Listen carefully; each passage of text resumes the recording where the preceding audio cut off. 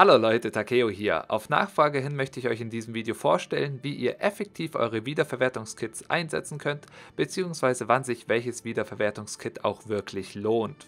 Im Allgemeinen lohnt es sich jedes nicht genutzte Item wiederzuverwerten.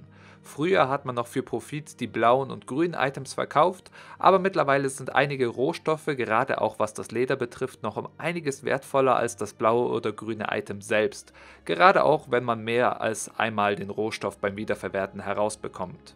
Zudem bekommt ihr die Essenzen des Glücks beim Wiederverwerten, die ihr über einen Rechtsklick dann auf einmal konsumieren könnt und die mit der Zeit euer accountweites magisches Gespür erhöhen.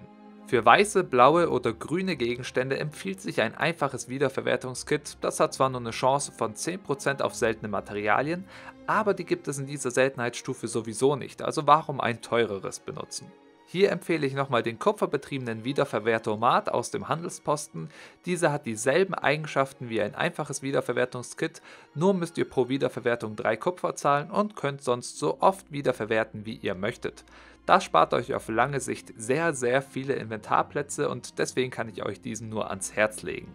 Habt ihr seltene Gegenstände oder exotische Gegenstände, die nur ca. 80 Silber wert sind, dann empfiehlt sich ein mystisches Wiederverwertungskit. Dieses Kit hat 250 Aufladungen und eine Chance von 25% auf seltene Materialien, sprich Ektoplasma-Batzen. Und nach dem Schwarzlöwen-Wiederverwertungskit ist es so ziemlich das Beste, was ihr haben könnt. Hat der Gegenstand eine Levelbegrenzung von 68 oder höher und besitzt die Seltenheitsstufe selten oder exotisch, dann bekommt ihr zudem beim Wiederverwerten 0 bis 3 Ektoplasma-Batzen heraus, die auch einen gewissen Wert haben und für viele Handwerksrezepte benötigt werden. Um so ein mystisches Wiederverwertungskit herzustellen, müsst ihr euch einfach nur bei einem Händler ein edles, ein Gesellen und ein Meister-Wiederverwertungskit kaufen und es gemeinsam mit drei Steinen der mystischen Schmiede in die mystische Schmiede werfen. Diese Steine bekommt ihr in großzügigen Mengen aus den Erfolgstruhen. Sollten sie euch jemals ausgehen, dann könnt ihr überlegen, ob ihr den silberbetriebenen Wiederverwertomat aus dem Edelsteinshop kaufen möchtet. Dieser hat dieselben Werte wie das mystische Wiederverwertungskit, nur dass ihr pro Benutzung 60 Kupfer zahlen müsst, aber dafür so oft wie ihr wollt wiederverwerten könnt. Bei exotischen Gegenständen solltet ihr immer vor dem Wiederverwerten überprüfen, wie teuer der Gegenstand im Handelsposten gehandelt wird und wie teuer das einzige Sigill bzw. die einzige Rune ist. Manchmal kostet das Sigill bzw. die Rune nämlich schon fast so viel wie der Gegenstand, weswegen ihr hier mit einem Schwarzlöwen-Wiederverwertungskit zu 100% die Auswertung aus dem Gegenstand bekommt und natürlich mit etwas Glück noch die Rohstoffe und die Essenzen des Glücks.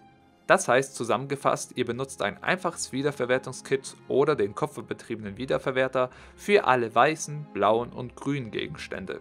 Ein mystisches Wiederverwertungskit benutzt ihr für alle seltenen oder billigen exotischen Gegenstände und ein Schwarzlöwen-Wiederverwertungskit benutzt ihr nur, wenn ihr die Rune oder das Sigill aus dem Gegenstand unbedingt benötigt.